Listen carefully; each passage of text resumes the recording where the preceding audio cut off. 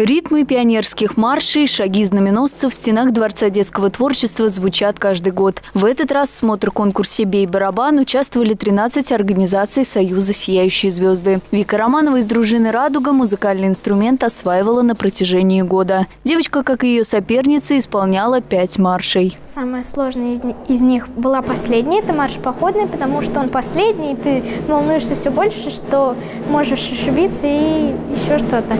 Именно конкурс конкурсу я готовилась также с начала марта, когда ты учишь сигналы, но ты их же играешь. Игру шести музыкантов-новичков и восьми опытных исполнителей жюри оценивала по отдельной программе. Виктория Романова стала победительницей среди начинающих. Также жюри внимательно рассматривали 16 знаменных групп. Четкость шага, синхронность действий, внешний вид и подачу команд. Безусловно, ребята выступают в первую очередь для себя.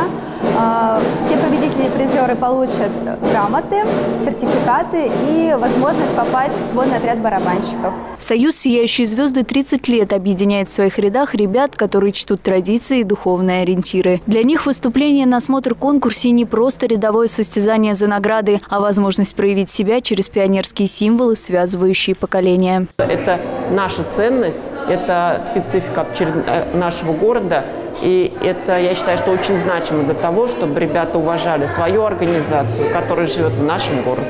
Победителями конкурса стали Союз Солнечной школы номер 5 и Дружина Радуга из гимназии номер 2. Совсем скоро сводный отряд барабанщиков выступит на митингах, посвященных приему в пионеры, а также, если снимут ограничения, на празднованиях Дня Победы. Дарья Кузина, Константин Островский, Александр Мальков. Служба новостей Саров 24.